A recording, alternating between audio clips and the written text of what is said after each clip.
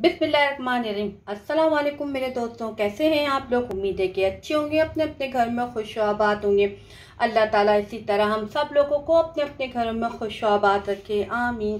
तो दोस्तों, देखिए, आज मैं लेके आई हूँ आलू और अंडों से बनने वाली रेसिपी लेके आई हूँ। और ये कैसे बनती है? ये झटपट बन जाती है। आप इसको ज़रूर ट्राई कीजिएगा, आपको भी मज़ा आएगा। और खाने में भी और बनाने में भी। तो चले हम टाइम ज़ाया नहीं करते हैं। हम अपनी रेसिपी की तरफ़ आते हैं। आपको पता है आजकल कराची में कितनी गर्मी पड़ गई है, बारिश भी हो रही है, गर्मियाँ भी हो रही हैं। तो चले, मैंने कहा झटपट सी कोई रेसिपी बनाई जाए। तो ये देखें, ये मैंने हाफ़ कप ऑयल डाला है। इसमें ऑयल थोड़ा ज़्यादा पड़ेगा। ऑयल मैंने ऐड कर दिया है। बिल्कुल इसी तरह बनाएँगे, बहुत मज़े की बनेगी। अब मैं इसमें ऐड कर रही हूँ।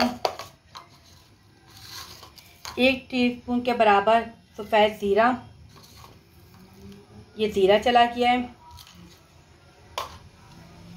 ज़ीरा थोड़ा सा हमारा ज़रा सा चटपट कर ले तो हम चटपट इसमें, बल्कि हम झटपट इसमें प्याज डालेंगे।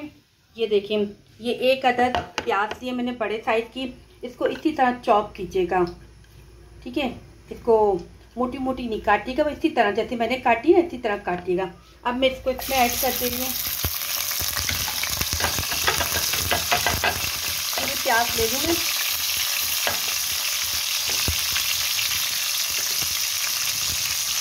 चलें, प्याज तो चली गई है, तेल के अंदर। अब मैं इसको थोड़ा सा फ्राई करती हूँ। इसको मुझे बिल्कुल ब्राउन नहीं करना है या लाल नहीं करनी है प्याज को।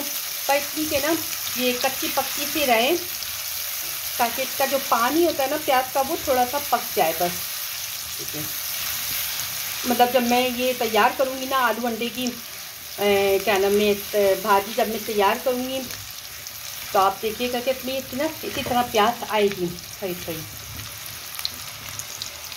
चल, जब तक तो मेरी प्याज हो रही है, मैं आगे आपको बताती हूँ क्या करते हैं। जी देखिए, प्याज पर इतनी ही मुझे करनी थी, अब इससे ज़्यादा नहीं, क्योंकि मैं चूल्हा बिल्कुल हल्का कर दिया है। अब मैं इसमें ऐड कर रही हूँ, एक खाने का चमचा लहसुन अदरक का पेस्ट थोड़ा सा इसको भी फ्राई करते हैं। ताकि इसकी स्मेल थोड़ी सी हो जाए। जब ये भुनता है ना, लगता है थोड़ा बड़ी अच्छी खुशबू आती है इसकी। वीडियो मेरी पूरी देखा करें, फिर लाइक क्या करें, फिर शेयर क्या करें, फिर कमेंट भी क्या करें, कैसी लगी आपको मेरी वीडियो। और सब्सक्राइब भी क्या करें, जो नए चैनल में मेरे आने वाले हैं। ये देखिए, अब इसमें ऐड करूँ मैं एक खाने का चमचा पिसी हुई लाल मिर्च, एक टीस्पून के करीब ही तकरीबन हल्दी पर ये दो मसाले मैंने ऐड किए हैं। अब मैं इसमें ऐड कर दूँगी ये आलू। आलू भी देखे मैंने इसी तरह काटिएगा चकोर चकोर काटिएगा इतने ही ना ज़्यादा मोटे, ना ज़्यादा पतले। अब मैं आलू इसमें ऐड कर दे रही हूँ।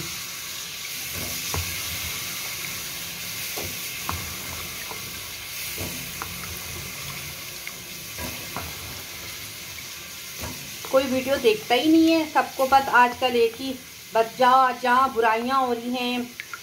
वहीं पे सब लगे हुए हैं। वही सब देखते हैं। लोग इतनी मेहनत करके वीडियो बनाते हैं। तो वीडियो लोग देखते ही नहीं हैं। सब बुराई की तरफ़ जा रहे हैं, बुराई की तरफ़ जा रहे हैं। मेहनत जो कर रहा आदमी, उसकी फ़िक्र नहीं है लोगों को। चले खैर, आपकी मर्ज़ी है। ये देखें, अब इसमें मैंने आलू ऐड कर दिए हैं। आलू के साथ ही मैं दो अदद टमाटर इसको भी देखें, मैंने उसी स्टाइल में काटा है। ये भी मैं इसमें ऐड कर दे रही हूँ, ताकि आलू, टमाटर, ये सब अच्छी तरह से एक साथ पक जाए। ये नमक डाल दे रही हूँ मैं। आधा खाने का चमचा नमक ऐड कर दिया है। नमक पे हाथ हल्का रखा करें, ताकि अगर कम हो जाए तो बाद में आप डाल सकते हैं। तेज हो जाए तो बड़ा मसला हो जाता है। ठीक है? ये जब तक पक रहा है, फिर इसके बाद हम अंडे किस तरह शामिल करेंगे और क्या क्या चीज़ें इसमें ऐड करेंगे, वो मैं आपके साथ शेयर करती हूँ। जब तक हम अपने किचन की थोड़ी सफ़ाई कर लें। और आज मेरा ख्याल में मैं तीन चार दिन बाद वीडियो बना रही हूँ। क्या करूँ? मसरूफियात इतनी है।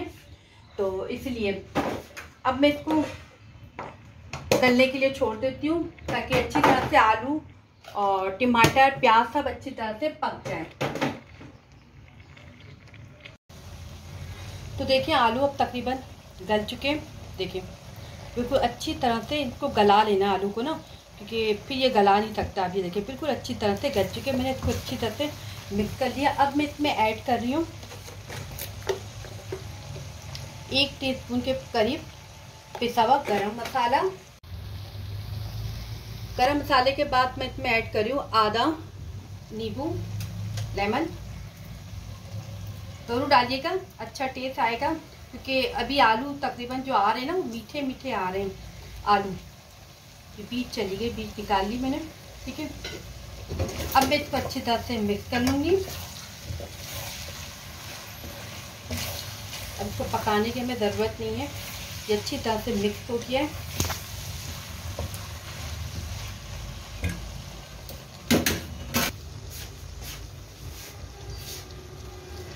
थोड़ा सा मैं इसमें पानी ऐड कर रही हूँ। उस टाइम मैंने पानी नहीं डाला था, जब मैंने वो बनाया था, आलू चढ़ा, आलू डाले थे और टमाटर डाला था तो पानी अपनी पानी में गला है लेकिन मुझे अभी डालना है थोड़ा सा पानी। अब मैं इसमें अंडे ऐड कर दूँगी। अंडे को मैं इस तरह तोड़ के और इसमें ऐड करती जाऊँगी। आप इस तरह बनाएँगे ना, आप तब घर वाले भी कहेंगे, वाह, क्या नए तरीके से बताइए भाई सब्ज़ी। आलू, नए स्टाइल से आलू अंडा हो तो आप घुटाला टाइप का बनाते हैं, अंडे, आलू का शोरबे वाला सालन बनाते हैं, कौरमा बनाते हैं, आप इस तरह बनाएँ। कि सुबह नाश्ते में, बच्चों को लंच में और पराठे के साथ खाएँ, पूरी के साथ खाएँ, चिप्स चिप्स के साथ खाएँ, चावल के साथ खाएँ, मज़े का लगेगा आप लोगों को। एक एक करके मैंने सारे अंडे इसमें ऐड कर दिए हैं।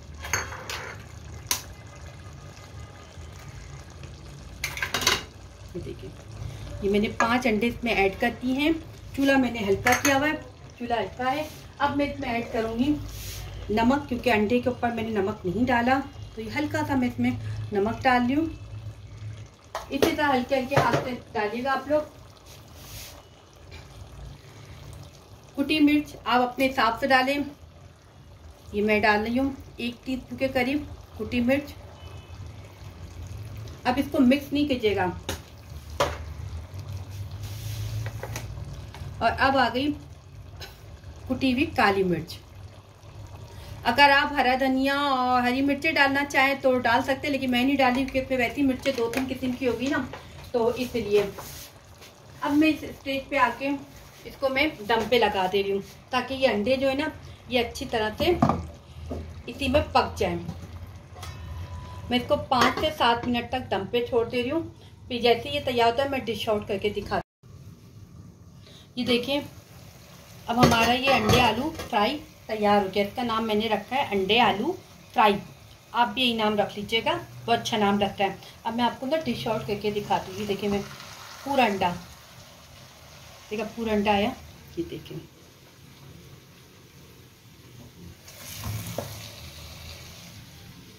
स्पून चेंज करती हूँ।